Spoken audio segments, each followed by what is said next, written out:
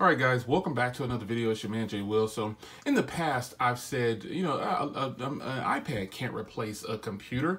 Well, you know, I tried it with the first the, the first gen iPad uh, Pro 12.9, and I was totally disappointed. It was too bulky. It was too heavy.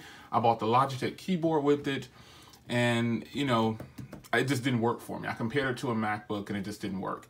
Well, fast forward to 2017, the MacBook Pro, these second generations, this is a 10.5 and they also have a 12.9.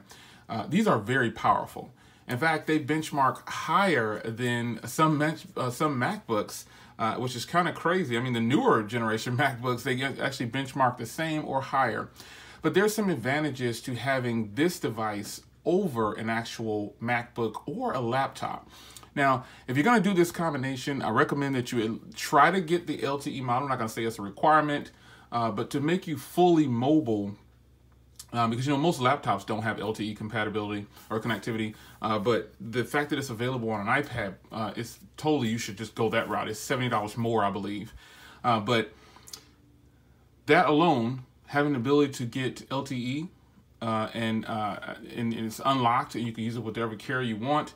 I think that's the first huge plus over having this over a laptop.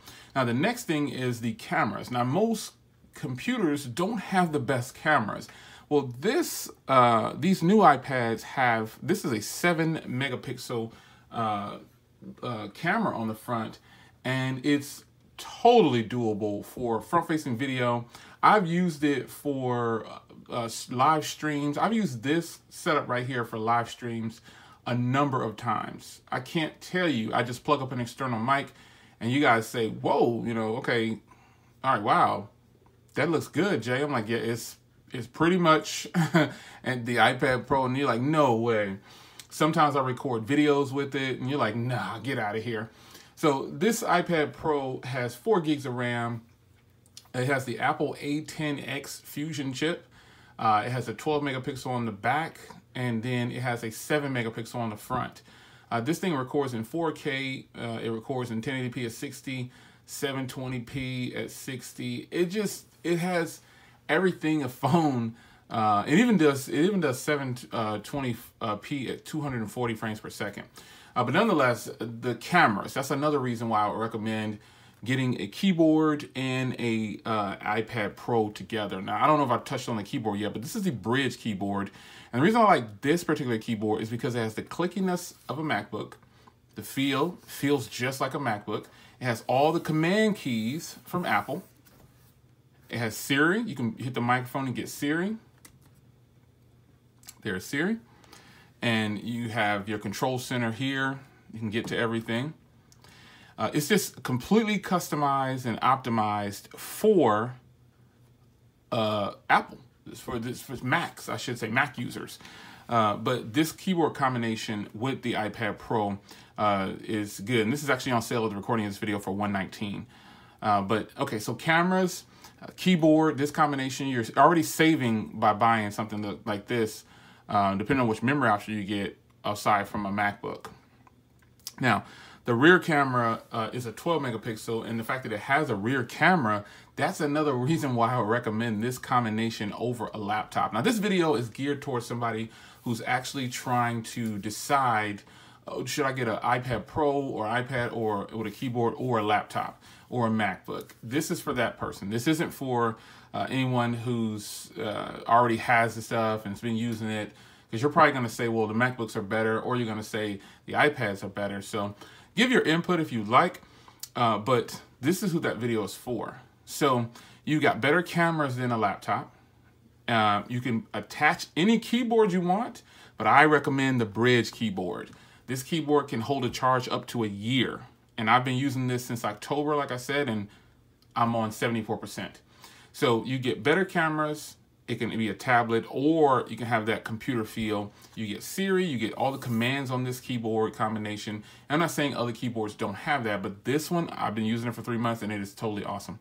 So performance wise, the MacBook Pros uh, benchmark really high uh, and the Apple iPad Pro 12.9 and 10.5 benchmark really high. I mean 9,000 to 10,000 on the on the uh, multi-core score and multi-score and in the single core is like three to five. Uh, and that's actually really, really good.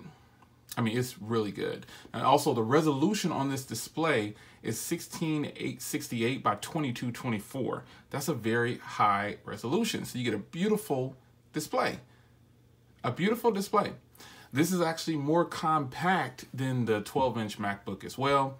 Uh, but if you go with the 12 inch, 12.9 inch um, iPad Pro setup, it's going to be a little bit heavier and it's more in line geared towards closer to the 13 inch MacBook, uh, you know, as far as weight and stuff like that. So this though this this combination here, performance wise, you're getting a lot. And and the fact that this is actually a tablet, that means you're opened up to applications.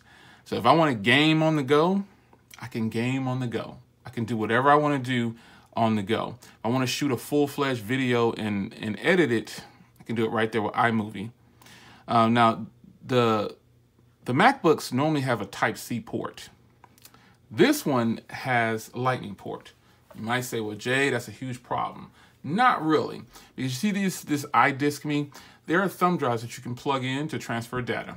There's also thumb drives that you can plug in, or there's um, adapters you can plug in uh, to have outs, like for a headphone jack. This has a headphone jack, but you can actually have extra ports uh, through the lightning uh, port there. So it's, it's a huge plus uh, and advantage over a laptop or a MacBook. So now some lower end Windows laptops, obviously you can get a, a, Windows laptop for 150 bucks right now with 32 gigs onboard storage, but it still won't be as powerful and perform as well as a MacBook, or excuse me, a iPad Pro in this combination. You will spend a little bit more money, uh, but you'll get better performance, you get better cameras, uh, you get very long battery life on the the tablet itself. Even though I keep this combination set up with, I keep Bluetooth turned on, never turn it off. This is the combination that I use. Battery life is still great. It goes probably a week on a charge, uh, or let's bump it down. It goes three to five days on a charge, uh, depending on how I'm using it for that week but it also charges pretty fast too. So um, I think this combination will be a great setup for a person who's indecisive whether, or not they want to get a MacBook uh, or a small laptop, because I'm starting to believe with extended use, this thing is very useful and can actually replace a laptop. But I think the key for me was finding the right keyboard because I have a lot of keyboards and a lot of them were old, they were just okay after extended use. They were great at the beginning, but after extended use, um, they really weren't that great. So I wanted to give you guys an updated video on my iPad Pro 10.5. It's been great. I don't have any complaints about it. I've been using in this combination uh, more than ever.